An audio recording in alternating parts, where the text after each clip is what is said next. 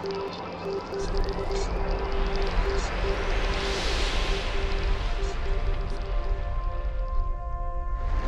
think we had a minus three and it got up to a warm one degree. We got everything here. Snow, hail. Last night I'd say, got a little bit on the ground. But um, yeah, we've had everything you can, Mother Nature can throw at us. You don't often get a frozen solid strop when it's fabric. Holds its shape. Yeah, Roger. Have you got that cobra off? Yeah, we're just dropping it to the ground and we'll give you a call in a couple of minutes and you can um, deal with that uh, 5-8. Roger that. Mission today, we're going to be uh, just making this one off here, cutting it, and then we're going to uh, pull the bottom wire on this side. That's that's the final nine wires all up then. So mm, today. What happens over the other side, they release the 5/8 and the nylon rope off the Cobra, and then we'll pull back the 5/8 wire rope. We'll pull these two wires that are up here already up to 90% sag, cut the one on this side, and then um, dead end it, and then send it through again. That's the third one coming through, and then sag and dead end all of them, and we're away, out of here. Fine weather. And I said, yeah, they all fit. Yeah, Roger Bergie. 5-8's all yours, yeah? Roger, we're pulling it across. I've got to go.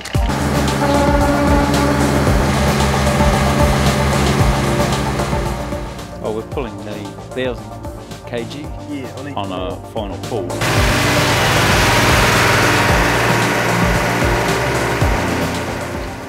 temperamental.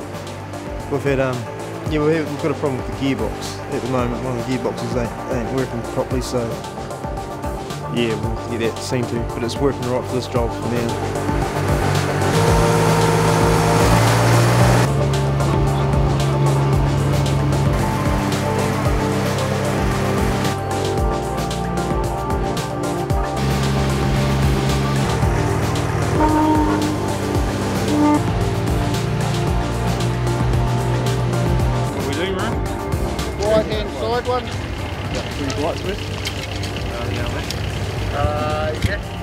You the lowest one we can, yep.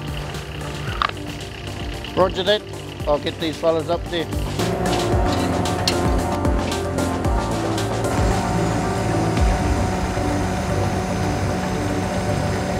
Oh, this is just the, the spacing clamps that goes across the uh, spaces of three conductors uh, evenly together. And this mower conductor passes through here. But there has to be a clamp arrangement so we can compress out there and close that key to make it secure. So they're going to be three are secured. So they travel across the um, a conductor here on a trolley, which is a certified trolley. There's two people, is it, or one? One. One person in there and he has to basically install his spacer and he needs to be up in the air there so he needs a, the appropriate tool to compress this area here to do it safely so it's important that we uh, get the process right especially working high in the air across the uh, across the river here as we move from South Canterbury to North Otago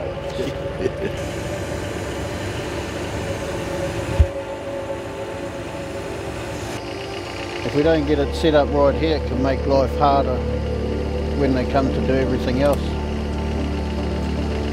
So need to make sure everything's correct. We'll put a dyno in each set of three and pair everything up to that so we know that we've got everything at around the same pre-tension.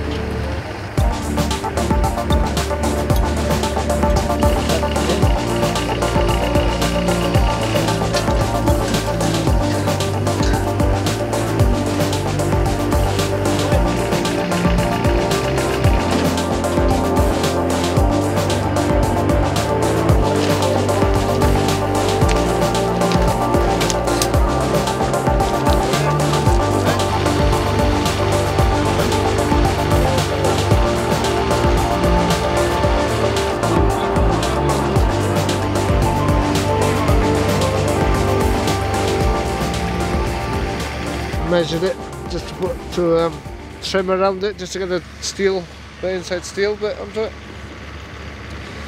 So we can press the steel first.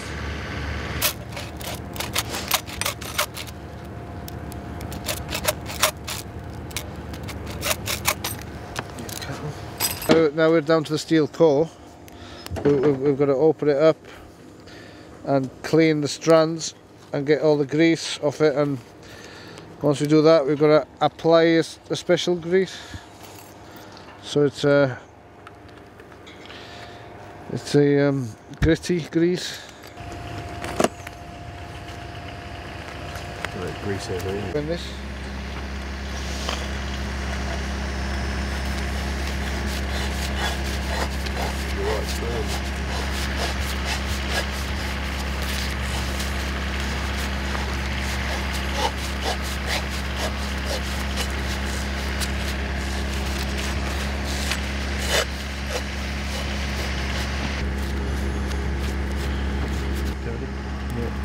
because if you don't to get hot joints eh?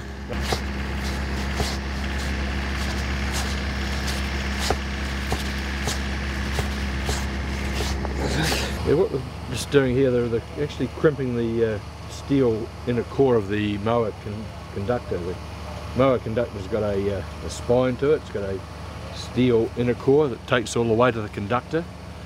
So what they've done here, they've fitted on the what they call the dead end. They then pressed it with a hydraulic crimp press here.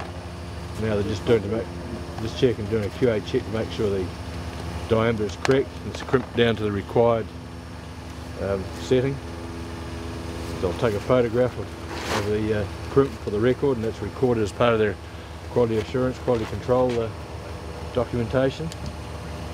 So once that's completed then they'll uh, change the dies, we've changed the bottom die there now and the top die to crimp the actual outer dead end onto the uh, aluminium conductor section of the um, mower cable. now we just crimp from here to Yep. the null Yep, we missed this bit out and crimp all the way back right, then.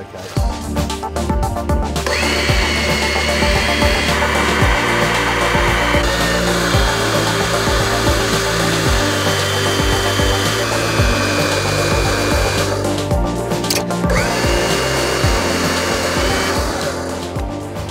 It's a process that they, uh, I guess, have done many, many times, and this is the last conductor that you're going to pull across from switchyard A to switchyard B in a few minutes. They've been, uh, there's nine conductors, three per phase. So this is the last dead end on the last conductor, which will be then made off over at switchyard B, made onto the hardware and insulators over there. Then they'll, they'll do a, a, a tension it up and do a pre-tension and then I'll sever that cable.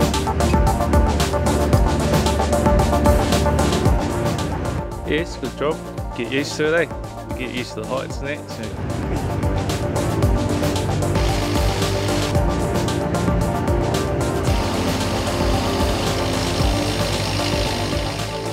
Got a gearbox which drives hydraulic pump.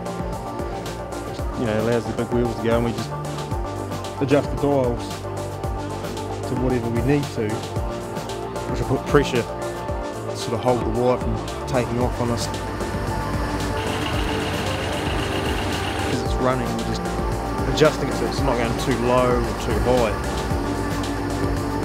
And so that, uh, also trying to allow so that the machine on the outside, side, the puller, can, can still pull.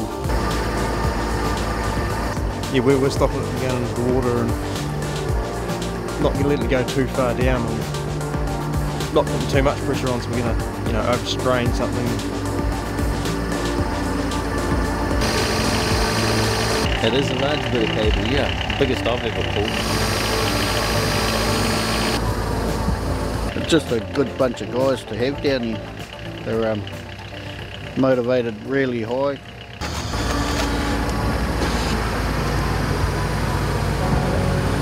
Mission accomplished. Last one across, and it's turned out beautiful.